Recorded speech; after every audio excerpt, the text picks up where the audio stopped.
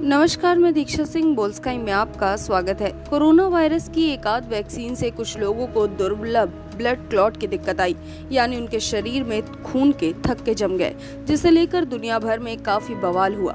Vaccine पर कुछ दिनों के बाद अस्थायी रोक लगा दी गई, लेकिन अब वैज्ञानिक इस पहेली को सुलझाने के करीब पहुँच चुके हैं। कम से कम जर्मनी के वैज्ञानिकों का ये दावा है कि उन्होंने उस चेन रिएक्शन का पता लगा लिया है, जिसकी वजह से शरीर में खून के थक्के जम रहे थे। जॉनसन एंड जॉनसन और एस्ट्राजेनेका की वैक्सीन लेने के बाद कुछ जगहों पर ब्लड क्लॉट के मामले सामने आए। जर्मनी के वैज्ञानिकों ने कहा कि उन्होंने इस चेन रिएक्शन का पता लगा लिया है, जिसकी वजह से वैक्सीन लेने के बाद कुछ लोगों के शरीर में खून के थक्के जमे थे।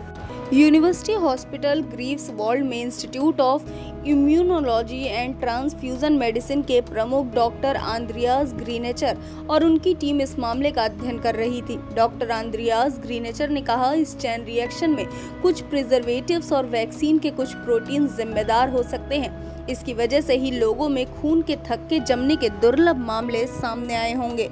द वॉल स्ट्रीट जर्नल के मुताबिक डॉक्टर ग्रीनेचर की टीम ने हाल ही में एस्ट्राजेनेका की वैक्सीन की स्टडी पूरी की। इसके बाद जॉनसन एंड जॉनसन के वैक्सीन की स्टडी शुरू कर चुके हैं।